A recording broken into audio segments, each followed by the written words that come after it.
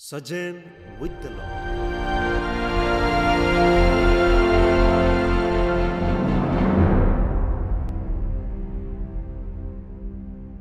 Jesus tells in today's Gospel, Be alert, I have already told you everything. This passage is from the farewell discourse of Jesus in the Gospel according to St. Mark. Here we see that Jesus advises his disciples regarding the forthcoming imminent dangers. The use of the word desolating sacrilege is found only twice in the New Testament. In both the cases, it is used in a prophetic sense that denotes the second coming of Christ.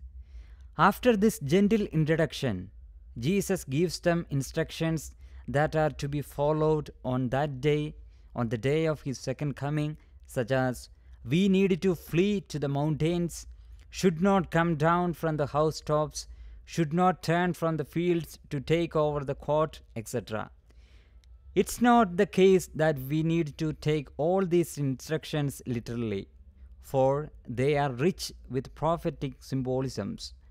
They all stand for the imminency of his arrival and are need to be diligent. That's why the passage ends with the significant pronouncement of Jesus Be alert, I have already told you everything. The need for being alert is frequently discussed in the New Testament, especially in the Gospel of St. Mark.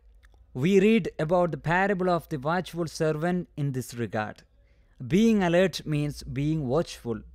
It demands our attention to the minute details, especially of those things that are entrusted to our responsibility. The servant who received even one talent has to strive his level best to multiply it.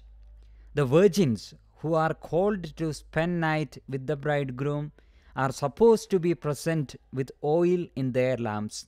Likewise, the disciple of Jesus are to be always alert and prepared for the arrival of Jesus. They are to be alert by preparing their hearts in love, truth, and justice. This passage is relevant in today's context too. Often we are not mindful in all the actions that we do. The road accidents, failures, and unexpected setbacks in our endeavors are often comes as a result of our lack of mindfulness.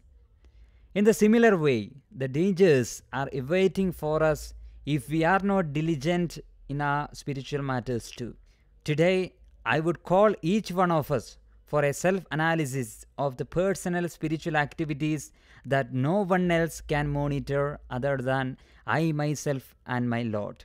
How diligently do we have our meditations, exam our conscience, and spiritual reading?